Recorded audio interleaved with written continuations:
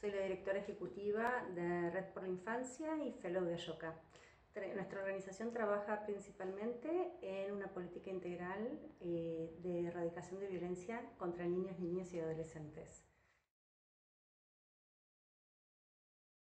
Me he convertido en activista cuando vi lo que estaba ocurriendo, la frecuente vulneración de derechos de niñas, niñas eh, víctimas de violencia.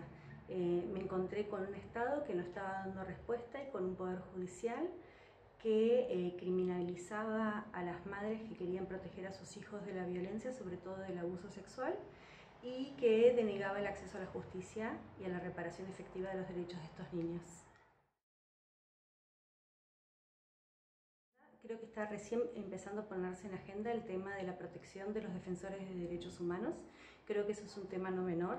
Eh, los desafíos que los defensores de derechos humanos enfrentamos en distintas partes del mundo eh, tienen sus particularidades. Algunos eh, enfrentamos amenazas principalmente de actores estatales, pero también quisiera remarcar, al menos en mi caso, que las principales amenazas vienen de actores no estatales.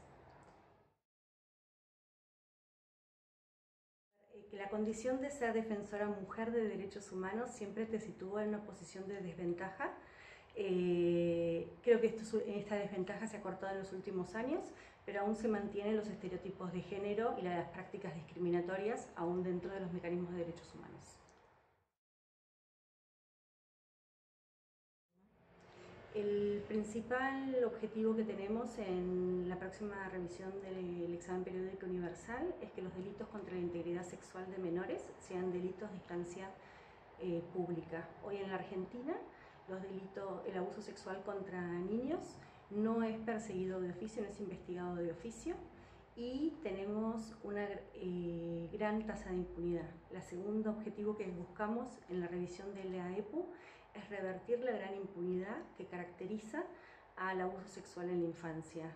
Uno de cada cinco niñas y uno de cada trece niños es víctima de abuso antes de los 18 años.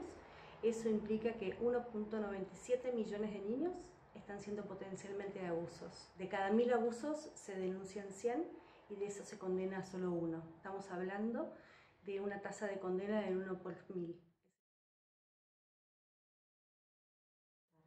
Ah, la ayuda de ICHR eh, marcó un antes y después en la agenda de nuestra organización. Eh, yo quisiera remarcar que ISHR no solamente nos brindó los conocimientos eh, prácticos y teóricos para poder hacer una incidencia efectiva a nivel internacional, sino sobre todo quiero resaltar el gran acompañamiento, el compromiso del equipo y, el soporte que nos han dado y nos continúan brindando eh, día a día. Creo que el gran desafío es que todos entendamos que defender nuestros derechos humanos es tarea de todos, nos compromete a todos.